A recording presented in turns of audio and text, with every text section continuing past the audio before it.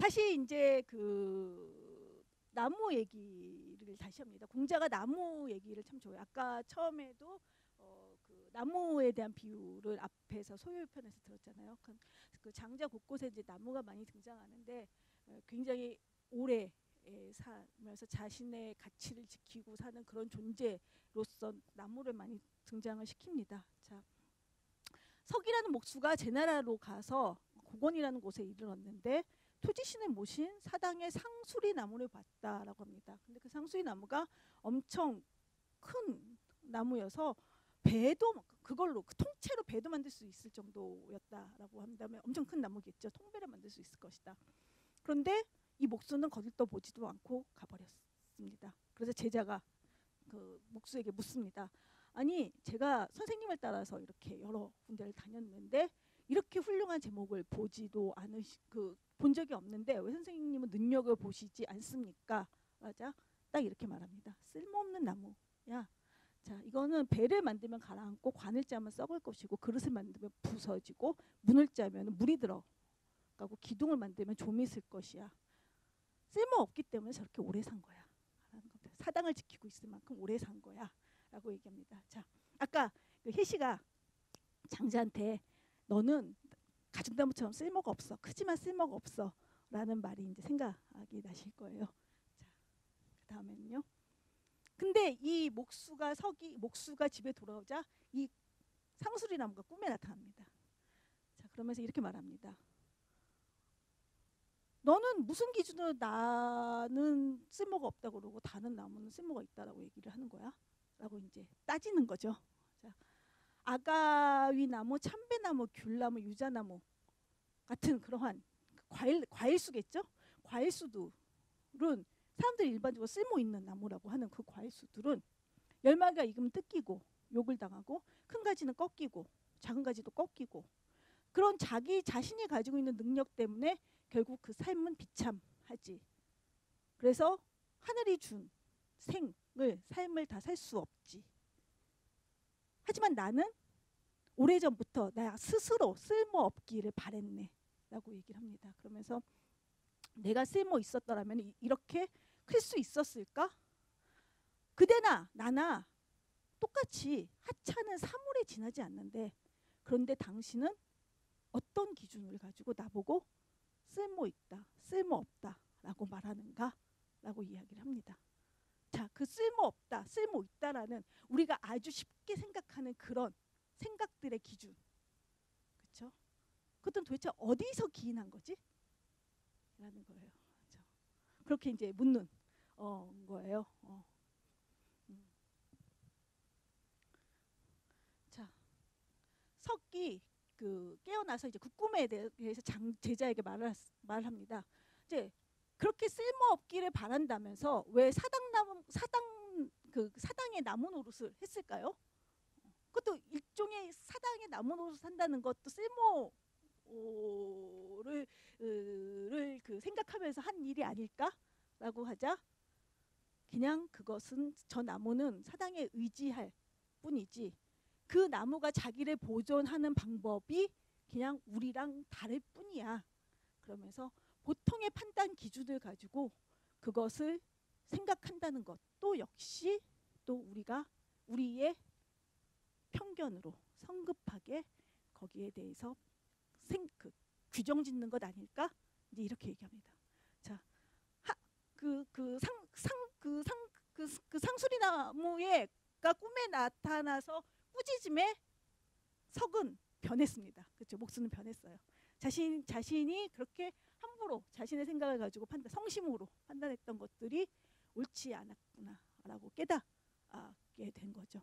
자, 그런 얘기들이 이제 인간 세편에 네, 이러한 나무들에 대한 이야기가 아, 이제 그 여러 어, 군데선 어, 나옵니다. 그래서 음, 인간세, 인간이란 말도 역시 그 장자에 있는 말이에요. 그래서 인간이 사는 세상에 대한 것이 이 이제 이 장 에 이제 이야기되고 있습니다. 자 마지막 장자의 글을 마지막을 보면요. 공자가 초나라에 갔을 때 공자는 여러분이 다 아시는 그 공자입니다. 예. 어, 장, 그 장자라는 책에는요 이런 공자니 노자니 등등의 당대 유명한 인물들이 마구 등장을 합니다. 그래서 장자가 이제 그들도 등장시켜서 그들의 입을 통해서 때로는 자신의 주장도 펴요. 막 그러한 우리가 그, 그 평범히 상상할 수- 그, 그 생각할 수 없는 그러한 어, 그 방식의 이제 글을 씁니다. 그래서 공자가 초나라의 저별을 라는 미친 미친 사람이 그의 숙소로 오가면서 노래를 불렀다. 사실 근데 이이 얘기는 사실 논어에도 나와 있는 얘기예요. 그래서 이 저별하는 사람은 미친 사람이 아니라 혼란한 세상을 을 버리고 그 세상에 은둔해서 사는 사람을 이야기를 하는 겁니다. 그래서 어, 보- 어, 너는 그그 너는 네가 하는 일을 그만둬야 한다라고 얘기합니다. 뭐 어떤 일 덕으로 남을 대해야 한다라고 하는 그런 것들을 그만둬야 한다. 그리고 이제 네가 하는 일은 굉장히 위태롭다. 자 땅에 금을 긋고 그 안에서 종종 걸음을 치는구나. 자 도덕이니 윤리니 하는 것 것을, 땅에 금을 긋는 것으로 이제 비유를 하는 겁니다. 그래서 그 안에서 살아야 한다라고 말을 하는구나. 이런 것들이 굉장히 위태롭고 그만두어야 할 일 이라고 저벼가 공자를 비판을 합니다. 자, 공자는요 그 논어에도 나오지만은 그 논어에 나오는 논어에도 여러 군데서 그 은자들 즉 세상을 버린 사람들이 공자에 대해서 어떤 식으로 이제 비판을 하고 충고를 하냐면요 할 하지 할 수 없는 일을 하려고 하는 사람. 음 이라고 이제 이야기를 합니다. 즉 그 이루어지기 어려운 일을 억지로 이루려고 노력하려는 즉 도덕적인 그 사회를 만들려고 애쓰는 사람이 다그 그, 그런 공자가 참 부질없는 일이다라는 것이 이제 당대의 은자들이 공자를 비판하는 것이고 역시 장자도 거기에 대해서는 부정적으로 어, 이야기를 합니다. 그러면서 이제 이런 얘기를 하죠. 산나무는 스스로 자르고 등불은 스스로 태운다. 개수나무는 먹을 수 있어서 잘리고 온나무는 쓸모 있어서 베인다. 사람들 모두 쓸모 있음의 쓸모, 쓸모 있기 때문에 쓰- 이것은 좋은 것이다. 라는 쓸모는 알고 있, 있어도 쓸모 없음의 쓸모는 모르는구나. 라고 얘기를 합니다. 그래서 쓸모 있음과 쓸모 없음이라는 것은 사실은 세상의 사람들이 매우 일반적인 생각을 가지고 나눈 기준인데 정말 그 기준이라는 것이 절대적인 것인가? 그 기준으로 쓸모 있다라고 해서 그것은 대단한 것이고 그 기준에서 쓸모가 없으면 그것은 정말 아무것도 아닌 것인가?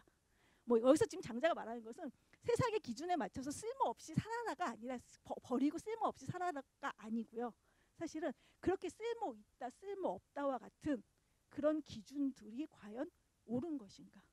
또는 그런 기준으로 인해서 타인을 상처 입히고 또 내가 상처받고 있지는 않은가? 왜 묻는 겁니다. 어, 아무것도 하지 말고 쓸모없이 살아라 라는 이야기하는 것이 아니라 그것이 가지고 있는 그런 기준들, 그 기준 그 기준이 가지고 있는 사람과 사람들에게 행하는 그 일종의 폭력이죠, 사실은 그런 것들에 대한 이야기를 합니다. 자, 그런 쓸모 없음과 쓸모 있음과 상관없이 모두 존중받아야만 하는 나에 대한 이야기가 이제 장자의 이야기고요. 장자 전편을 보면은 전체 그렇습니다. 또 거기서 좀 더 욕심을 낸다라면은 자 그런 기준들이 옳지 않다. 아니면은 어, 나라는 것을 판단하고 그것으로부터 변화하고자 하는 나. 그쵸? 그것을 버리고자 하는 나. 그것을 좀 더 그 변화시키고자 하는 나. 또 이제 그 장자가 이제 이야기를 하고 있는 것이죠. 자 그렇게 된다라면은 아까 얘기했듯이 나의 삶이 존중받기를 원한다라면은 역시 타인의 삶 을 존중해야 된다라는 것이죠. 내, 마, 내 생각이 옳다라면은 타인의 생각도 옳을 수 있다라고 생각을 해야 된다라는 겁니다. 그래야만이 모두의 삶이 함께 있을 수 있다라는 공존할 수 있다라는 음, 거죠.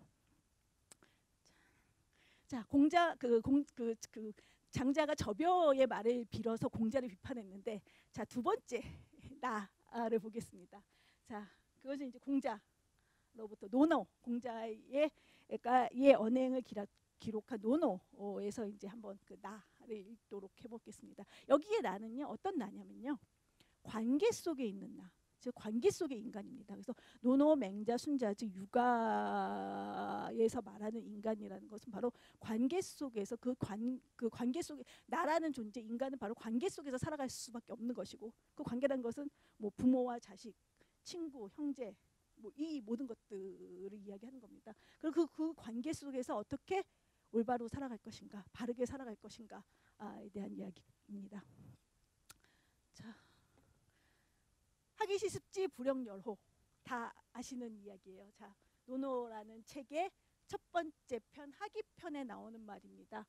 일단 그 일반적인 번역을 한번 읽어보도록 하겠습니다. 배우고 때때로 그것을 익히면 또한 기쁘지 않은가. 벗이 먼 곳에서 찾아오면 또한 즐겁지 않은가. 남이 알아주지 않아도 성내지 않는다면 또한 군자답지 않은가. 처음에 딱 드, 드시는 생각. 아까 그 장자의 첫 편을 읽었을 때 드는 것은 황당하다. 라는 생각이면 노노의 첫 편의 첫 글을 읽었을 때 드는 생각은 참 평범하다. 그렇죠? 라는 생각입니다. 이렇게 이렇게 평범한 얘기를 그 책에 물론 장자 그, 그, 그 공자가 직접 그 쓴 것은 아니지만 죄자들이 선생님의 책을 그 편집해서 낼 때 왜 처음에 놨을까라는 생각이 들죠. 물론 모든 그 진리는 평범함 속에 있다라고 이야기 그 생각을 할 수 있지만 그건 너무 당연한 것이지만 이 얘기를 조금 다시 조금 더 해석을 해보도록 하겠습니다.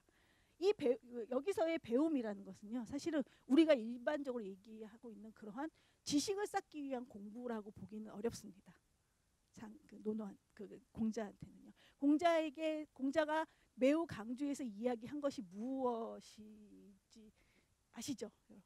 뭐 인이에요. 자, 인입니다. 인은요, 공자가 어, 과거의 예, 그 공자 이전 시기의 예, 예, 예라는 어떤 도덕 규범을 다시 반성하면서 비판하면서 새롭게 제시한 그러한 그 것이에요. 그것이 이제 어떤 것인지 제가 조금 더 다시 얘기하는데 그렇다면은 이 배움이라는 것은 인간이 살아가는 데 있어서의 마땅히 그 갖추어야 될 어떤 능력에 관한 관한 것들이고요. 그렇다면 그것들은 바로 그 때때로 그 적절하게 실천되어야 하는 것입니다. 그래서 사람과 사람 간의 관계에서 올바름에 관련 관련된 배움이고요. 그리고 그 배움은 그 적절하게 습 복습하는 것이 아니라 실천되어야 하는 것이라는 말입니다. 이게 얼마나 기쁘겠는가 라는 얘기예요. 그 다음에 친구가 먼 곳에서 찾아오니 이것이 얼마나 기쁘겠는가. 물론 친구가 먼 곳에 찾아오면 기쁘죠. 그런데 그 얘기를 굳이 저렇게 예, 책의 맨 첫머리에 썼을까? 그러한 내 뜻, 그것은 공자의 새로운 생각이었거든요. 그런 내 뜻을 알아주고 멀리서 찾아 나와 함께하겠다. 그 뜻을 함께하겠다고 찾아온 사람들이 있으니 그것을 함께하겠다는 사람들이 내 주변에 있으니 얼마나 기쁘겠는가라는 겁니다. 그렇지만 보통의 다른 사람들은 세상 사람들은 날 알아주지 않더라도 나는 군자가 아니겠는가. 예전에 군자라는 것은 높은 지위에 있는 사람이었습니다. 근데 여기서 말하는 공자가 말하는 군자라는 것은 어, 인격이 굉장히 고양되는 사람, 도덕적으로 굉장히 성숙한 사람입니다. 그러니까 아까 학이 인간과 인간 간의 관계에 있어서 올바름에 대한 것이라는 것 때문에 그것을 실천하면서 살아가는 사람.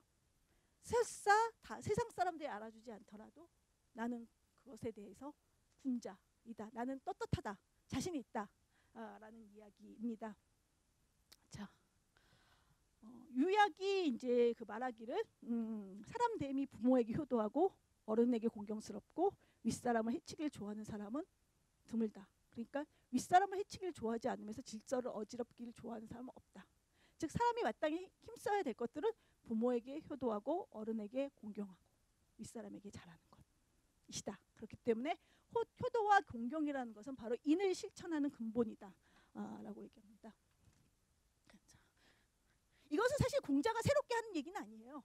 어, 공자 이전에도 이미 이제 어, 이러한 그 행위의 도덕의 규범에 대한 이야기들을 하고 있습니다. 공자의 이는요 사실은 그, 그, 그 도덕 규범을 어, 모두 부정하지는 않습니다. 그리, 그렇기 때문에 그 중에서도 가장 중요한 것들은 효도와 공경이라는 것은 공자뿐만 아니라 유학의 가장 핵심적인 것이죠. 그것이 이제 인을 실천하는 기본 근본이라고 이야기를 합니다. 또 하나는요. 젊은이들이 집에 들어가서 부모님께 효도하고 어른들을 공경하고 말과 행동을 삼가고 신의를 지키고 그리고 널리 사람을 사랑하되 어진 사람과 함께 지내는 것 이런 것을 행하고도 남는 힘이 있으면 그 다음에 이제 그를 배우라고 한다. 이러한 각각의 그 관계 속에서의 그 규범들 그리고 마땅히 해야 될 것들을 다 하는 것들이 일상의 지식을 얻는 것보다 훨씬 더 중요한 일이다라는 것이 이제 공자의 이야기입니다. 근데 이 정도만 이야기했다라면 사실은 어, 공자가 그다지 새로운 것을 이야기한 철학자라고 보기는 어렵습니다. 자, 공자가 이야기하기를 음, 오직 인한 사람만이 남을 좋아할 수도 있고 남을 미워할 수도 있다 라고 이야기를 합니다. 이때 되면 단순히 이 인, 인이 도덕 규범에 있는 것은 아닌 것 같아요. 그럼 인이 뭘까? 공자가 말하는 인이 뭘까? 아, 라는 생각이 듭니다. 자, 누구를 좋아하는 것, 누구를 미워하는 것. 세 여기서 인해야만 인한 사람만이 누구를 좋아한다 수도 있고 누구를 미워할 수 있는 자격이 있다라고 말하는 것 같아요. 그러면 그 인이 뭘까? 그냥 훌륭한 사람? 일까? 자애로운 사람? 일까? 그러면은 좋아하기만 해야지 왜 미워하지? 그 도덕적으로 매우 훌륭한 사람은 그냥 모든 사람을 다 이해하는 사람 아닐까? 좋아하기만 하는 사람 아닐까? 왜 미워하지? 어. 여기서는 공자가 도덕 도덕적 판단 기준에 대한 이야기를 자, 복, 동, 그, 어, 도, 그 공자인에 있어서 예, 굉장히 중요한 내용 바로 그겁니다. 자, 이러한 판단 기준을 가진 사람은 그 기준에 따라서 누군가를 다른 사람을 좋아할 수도 있고 그 다른 사람의 잘못에 대해서 비판할 수 있고 지적할 수 있다라는 겁니다. 그것이 미워한다는 너 안 봐 뭐 이런 것들이 아니라 그것이 올바르지 않은 그 기준이 분명 해야 된다는 거예요. 그런 기준 없이 그냥 나에게 잘한, 잘해준 사람을 좋아한다든가 나에게 잘 못하는 사람을 싫어한다든가 그런 것들이 아니라는 겁니다. 그래서 음, 어, 그 다음 얘기도 이제 역시 이제 그런 어, 그, 그와 관련된 이야기고요. 시간이 조금 자, 두 번째. 이 기준과 관련한 이제 공, 이야기들을 좀 어, 보도록 하겠습니다. 자, 공자가 어, 삼아 나의 돈은 하나로 관통된다. 자, 이류관지라는 말입니다. 그래서 어, 내 돈은 하나인데 에, 증자가 네 하고 주저없이 대답을 합니다. 그래서 공자가 나가서 문, 문인들이 묻습니다. 다른 제자들이 그, 그게 뭐야? 라고 이제 물어요. 그래서 증자가 말하기를 선생님의 돈은 충서이다 라고 얘기합니다. 자, 자, 이 도덕적 판단 기준을 그 공자가 이제 그 증자가 이제 충서라고 이야기한 것이죠. 공자도 역시 그렇습니다. 어, 자, 그 내용이 구체적으로 무엇일까? 보면은요. 중공이 인에 대해서 묻자 공자가 말하기를 집 문을 나서서는 큰 손님을 대하듯이 하고 즉 집 문에 나서 집 밖을 나가선다면 그 집 밖에 있는 사람들 즉 타인들에게는 매우 공손하게 대해야 된다는 겁니다. 그리고 백성을 부릴 때는 큰 제사를 받듯이 하고 정치를 하는 사람들이 백성을 부릴 때는 마치 큰 제사를 지내듯이 정성스럽게 백성을 그 받들어야 된다는 겁니다. 그리고 자기가 바라지 않는 일을 남에게 하지 말아야 돼. 시키지 말아야 된다는 겁니다. 바로 그거 그 내용입니다. 도적 판단. 내가 하기 싫은 일, 하고자 하지 않는 일들을 남에게 하지 않는 것. 자 이렇게 하면은 나라에서도 원망하는 이가 없고 집안에서도 원망하는 이가 없을 것이다. 라고 얘기를 합니다. 그래서 내가 하고자 하는 일을 남에게 하, 하지 않도록 하는 것, 시키지 않도록 하는 것. 자 그 얘기를 다시 이야기. 자공이 다시 선생님에게 묻습니다. 선생님 딱 한마디 평생도록 실천할 만한 것들을 저에게 이야기해 주십시오. 자 그러자 공자가 바로 그것은 서다라고 얘기합니다. 그래서 자기가 원하지 않는 것을 남에게 하지 않는 것이다. 딱 한 가지만 평생도록 실천해야 한다라면 바로 이것이다. 이러한 판단 기준을 가지고 그리고 거기에 맞춰서 그 상황 안에서의 적절함 아까 얘기했던 적절함을 실천하는 것이 바로 이제 그 평생도록 해야 될 일이라고 하는 겁니다. 자, 충서라는 그 글자를 보면요. 자, 그럼 충자가 무슨 의미일까요? 충성하다. 나라에게 충성하다. 아니고요. 예? 예. 이제 중 마음의 중심입니다. 마음의 중심이 뭐, 뭘까요? 마음의 중심 있으세요? 마음의 중심 뭘까요? 예? 양심? 예. 마음의 기준이 있다라는 겁니다. 마음의 저울이 있다라는 거죠. 자가 있다라는 거죠. 예.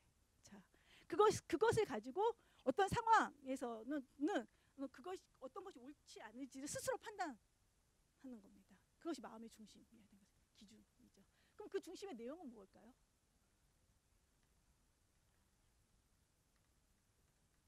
여가 이게 뭘까요? 같을요. 내, 마, 내 마음은 다른 사람도 마음도 내 마음과 같다. 내 마음도 다른 사람도 같다라는 뜻입니다. 바로 내가 하고자 하, 하고 그, 그 뭐야 하고자 하지 않는 일들 남에게 시키지 않는 것들이죠. 자, 이것이 이제 공자가 말하는 도덕적 판단의 기준. 뭐 좀 어렵게 말하면 준칙 뭐 이런 것들입니다. 행위의 준칙 뭐 이런 것들이에요. 자, 조금 더 가면은요. 자공이 이제 또 묻습니다. 백성들에게 널리 은혜를 베풀고 많은 사람을 구제할 수 있는 사람이 있다면 어떻습니까? 인하다고 할 수 있겠습니까? 이 인을 실천하는 사람이라고 할 수 있습니까? 어찌 인하다는 것뿐이겠느냐? 그것은 진짜 대단한 일이야라고 하면서도 그것이 인이란 자신이 서고자 할 때 남부터 서게 해준 거. 내가 하기 싫은 일을 남에게 시키지 않는 것보다 좀 더더 나아가서 내가 그것을 내, 나의 기준으로 가질 수 있다라면 그것보다 좀 더 나아가서 내가 자신이 서고자 할 때 남부터 서게 하고 자신이 뜻을 이루고 싶을 때 남부터 뜻을 이루게 해주는 것. 즉 자신이 원하는 일을 미루어서 남이 원하는 것을 이해하는 것. 이게 바로 인의 실천 방법이다라고 얘기합니다. 자, 바로 이제 잘 아시는 입장을 바꿔서 생각해 보면 된다. 역지사지. 자, 내가 하기 싫은 건 남도 어떨까? 내가 하고자 하는 일들은 남도 어떨까? 생각해 보는 것이죠. 네. 공자가 이제 말하기를 인은 멀리 있는가? 인을 하는 인을 실천하는 게 그렇게 어려운 일인가? 그러자 그렇지 않다. 이는 실천하고자 하면은 곧 이는 다가온다. 자, 역지사지라는 것들이 사실은 근데 음, 예. 잠깐 잊어버렸어요. 자, 어, 그럼 그렇게 그게 어려운가? 어떻게 생각해 보면 그렇게 어렵지 않은 일인 것 같은데. 모르 아까 말씀 그 이야기하는데 모르시는 분이 없었잖아요. 근데 왜 잘 실천하지 못할까? 그 역시 사지를 하지 못하게 하는 것은 뭘까? 뭘까요? 이건 아까 장자랑도 비슷한 것 같아요. 그렇죠? 그렇죠. 어, 욕심, 이기심, 그 나의 그렇지 내가 내 감정이 더 중요한 것, 내 생각이 더 중요한 것, 때로는 우리 집이나 내 자식이 더 중요한 것 이런 것들 때문이겠죠. 자, 그렇죠. 지금은 점점 더 그렇죠. 예. 자, 어, 그러니까 멀리 있지 않은데 참, 참 그거 실천하기 어렵다는 거예요. 그 공, 공자가 뭐 인이라는 게 그렇게 어려운 일이 아니다라고 얘기하고 실제 공자의 논어를 읽어봐도 그렇게 어려운 일이 아니에요. 어렵게 얘기를 하질 않아요. 근데 우리는 굉장히 어렵다고 생각을 해요. 왜? 너무너무 실천하기가 어려워. 뭘 알기 때문에. 근데 그게 그게 실천이 잘 안 돼서 굉장히 힘들면서도 사실은 그게 안 되는 걸 알기 때문에. 그 자본 공자 이 자본주의 전인데요. 물론 자본주의 사회가 그것들을 더 어, 어렵게 만들고 있는 건 막 그렇죠. 예. 예. 그러니까 여전히 공자의 말이 이 자본주의 사회에서도 그 의미 있는 부분들이 있다. 다 옳은 건 아니지만은 의미 있는 부분들이 있다라고 할 수 있는 것이겠죠. 자, 그래서 다시 안연히 인해서 묻죠 공자가 말합니다. 자기를 이겨서 예로 돌아가는 것, 즉 자기를 이긴다. 이것 아까 인 인하는 실천을 가로막는 게 뭐라고 아까 말씀하셨죠. 욕, 욕망, 이기심 뭐 이런 것들 그것이 바로 자기를 이기는 겁니다. 아까 그 장자가 말했던 내가 나를 버리는 것, 버려야 될 나, 이겨야 할 나가 있다는 거죠. 그것을 버리고 예로 돌아가는 것, 즉 그 도덕적인 것으로 돌아가는 것 이 인이다라고 얘기를 합니다. 그러면서 여기서 사실 중요한 것들은 이, 이 다음이에요. 인을 실천하는 것은 나에게 달린 것이지, 나에게 있는 것이지, 다른 사람에게 달린 것이 아니다라는 겁니다. 자, 도덕 규범일 때는요, 이 도덕 규범은 사실 내가 만든 건 아니에요. 사회에 이미 만들어진 겁니다. 만들어진 것을 지키는 거예요. 근데 공자는 여기에 머물지 않거든요. 자, 도덕 사람이 도덕적으로 살아야 한다라고 한다라면 그 도덕적인 삶의 삶을 가능하게 하는 것은 이런 규범이 아니라 예의 범절이 아니라 우리 흔히 말하는 이 규범은 예의 범절입니다. 그런 규범이 아니라 형식적인 것이 아니라 내 마음의 도덕적 판단 기준을 가지고 스스로 판단하는 것이다. 적절함을 올바름을 여기에 밖에 기대는 것이 아니라 나에게 있다라는 것을 알고 판단하는 것이다. 그렇다면 각각의 나는 수동적으로 사회의 규범을 지켜야 되는 나가 아니라 스스로 무엇이 옳고 그른지를 판단할 수 있는 나 이게 됩니다. 그렇게 얘기해요. 인을 실천하는 것은 자신에게 달려 있다. 다른 사람에게 달려 있는 것이 아니다. 라는 바로 얘기가 바로 그겁니다. 나로부터 시작되어진다라는 겁니다. 자, 같은 상황에서도 어떤 거, 어떤 것이 인인지 아닌지는 상황에 따라 달라요. 사람마다 달라질 수 있습니다. 그 모든 것들을 규범으로 다 매뉴얼로 만들 수 없어요. 그랬을 때는 결국은 도덕적인 사람, 도덕적인 사회가 근거 지어야 할 것들은 바로 사람들이 도덕적으로 판단하는 기준을 가지고 있고 그 판단 속에서 자신의 행, 올바른 행동을 생각하고 실천해야 된다라는 것입니다. 자, 그렇기 때문에 생각이 이제 굉장히 중요하게 됩니다. 자, 배우기만 하고 생각하지 않으면 막연해서 얻는 것이 없고 생각만 하고 배우지 않으면 위태롭다라고 얘기합니다. 배우고 또 생각하고 생각하고 또 배우고 끊임없이 생각해야 되는 것이 끊임없이 그것은 여기 생각은 포함되어 있는 것은 반성, 성찰 이제 이런 것들이 반드시 포함되어 있는 겁니다. 그래서 배우고 생각하지 않으면 막연하다, 멍청하다. 배우기만 하고 생각을 안 하면 멍청한 것이다. 생각하고 배우지 않으면은 그것은 굉장히 공허하다. 생각만 하고 내 생각 속에 다 있어. 나는 뭐 굳이 다른 사람의 생, 각을 들을 필요도 없고 더 공부할 것도 없어. 라고 한다면 그것은 너무 공허한 것이라는 겁니다. 이 두 가지가 잘 조화를 이루어야 한다라는 것이죠. 이러한 도덕적 판단 기준을 가지기 위해서는요. 그리고 또 하나. 자, 책 속에서만 공부를 하는 것이 아니라는 것은 이미 공자가 아, 이야기를 하고 있어요. 자, 어진이를 보면은 그와 같아질 것을 생각하고, 자, 굉장히 그 올바르게 행동을 하는 사람들을 보면은 나도 저 사람과 같아져야지. 라고 생각을 하고 어질지 못한 사람을 보면은 나 자신도 또한 그렇지 않은지 스스로 내 자성 스스로 돌이켜 생각해 본다라는 겁니다. 그래서 끊임없이 자신의 어, 어, 행동을 그 타인을 비판하는 것뿐 아시 아니라 그, 피, 그 타인의 행, 잘못된 행동 속에서 자신의 행동을 반추해서 보고 자신의 모습을 뒤돌아보는 것. 그래서 그러한 그 행동을 하지 않도록 하는 것. 이런 것들이 이제 바로 이 생각, 사에 역시 이제 포함되어져 있는 겁니다. 결국은 바로 공자가 인해서 강조하는 것들은 바로 스스로 도덕적 판단 기준을 가지고 그것들을 통해서 자신을 관계 속에 있는 자신을 끊임없이 자신의 인격을 성숙시키는 것. 그렇게 노력하는 사람에 대한 이야기입니다.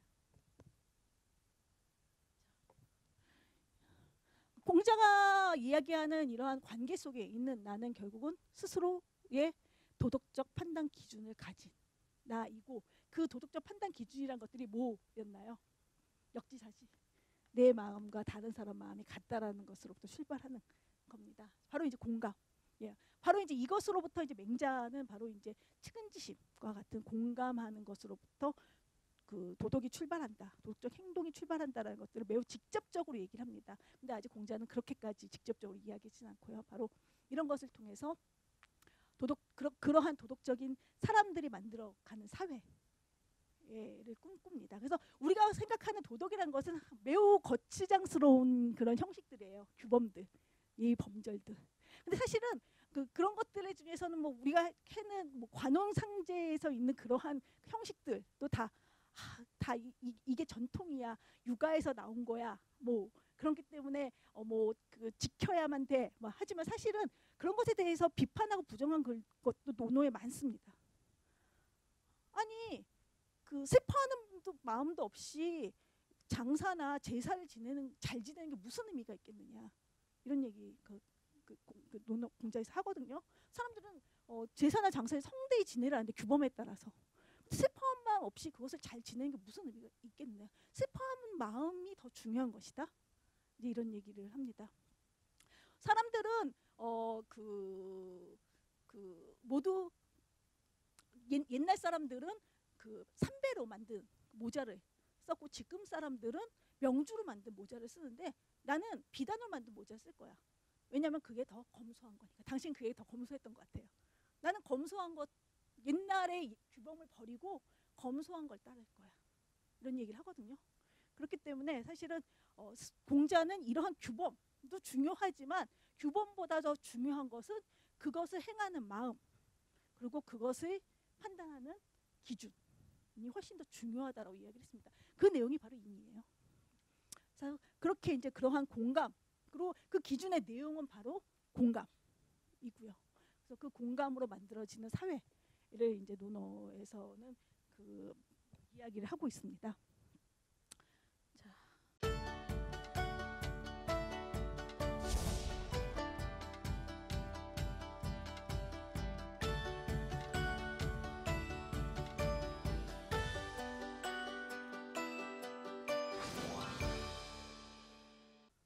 마지막에는요. 음, 때가 때인 만큼 또 하나의 이야기를 이제 하고자 합니다. 자, 어, 시민인 나에 대한 거예요. 아까는 나인 나와 그 장자를 통해서 나인 나를 이야기를 했고 그 다음에 논어를 통해서 관계 속에 있는 나에 대해서 이야기를 했다라면은 이제 시민인 나에 대한 이야기를 좀 해야 될 것 같습니다. 그래서 어, 광장이 열렸어요. 작년 가을부터 어, 올해까지. 그래서 굉장히 많은 사람들이 광장에서 자신의 이야기를 했습니다. 자, 그 얘기는 그 얘기는 바로 이런 거였어요. 자, 모두 아시죠? 어, 우리 대한민국의 근간인 바로 헌법의 가장 그것도 첫, 첫 번째 아까부터 어, 그 장자의 첫 번째 논어의 첫 번째 굉장히 중요하다고 얘기했죠. 헌법부에서도 첫 번째 모든 게 다 들어 있습니다. 자, 딴 건 다 몰라도 우리가 헌법의 1조의 1항과 2항 만 알고 있으면 우리가 시민으로서 무엇을 해야 되는지를 충분히 알 수 있습니다. 자, 대한민국은 민주 공화국입니다. 민주. 즉 모든 개개인의 주인이 되는 곳이에요. 주인이 된 곳이에요. 그리고 이 대한민국의 주권은 바로 국민에게 있고 모든 권력은 국민으로부터 우리가 권력을 가진 사람입니다. 우리가 흔히 생각하는 정치가들의 권력을 가진 게 아니라요. 우리는 그들에게 우리의 권력을 잘 쓰라고 잠시 맡겨뒀습니다. 우리는 그걸 언제든지 뺏을 수 있는 권리가 있고요. 또 그것을 감시해야 될 의무도 있습니다. 우리가 잠시 빌려준 거거든요. 그리고 언제든지 뺏을 수 있습니다. 자, 거기에 관련된 것이 광장에 이제 열려져 있습니다. 자, 원래 자료집에는 제가 이제 두 가지 어, 헨리 소로의 이제 월든이라는 글과 그 다음에 이제 고병권이라는 분의 민주주의란 무엇인가에 대한 글을 어, 그 배치했는데 그것을 통해서 이제 어, 그것은 이제 읽으셨을 거라고 생각하고 아니면 어, 앞으로 읽으실 것이라고 생각하고 이 소로우가 이제 월든이라는 그 호숫가에 살면서 어, 무엇을 이야기했냐면 시민 불복종에 대한 이야기를 했습니다. 그래서 혹시 그 법정의 법정 스님의 무소유와 같은 글을 좋아하시는 분들이 있다라면은 그 무소유와 같은 그 같은 책과 비슷한 책이 뭐가 있을까요? 하고 누군가에게 물어보면은 많은 사람들이 헨리 그 헨리 데이비드 소로우의 월든을 추천을 할 겁니다. 그래서 어, 굉장히 많은 것들을 가질 수 있는 있었음에도 불구하고 그런 것들을 버리고 월든 호숫가 에서 자신의 삶을 성찰하면서 살아갔던 한 사람의 이야기인데 그 사람이 이제 주장한 것 중에 하나가 이제 시민 불복종이라는 것이에요. 음, 올바르지 않은 정치를 하는 국가에 대해서 우리는 불복종할 권리가 있다라는 겁니다. 그래서 그, 그 자료 집을 좀 잠깐 보면은요, 조금 중간 중간에 보면은요. 나는 가장 좋은 정부는 가장 적게 다리는, 다, 다스리는 정부라는 표를 진심으로 받아들이며 그것이 하루빨리 조직적으로 실현되기를 바란다. 그 보충 자료에 있습니다.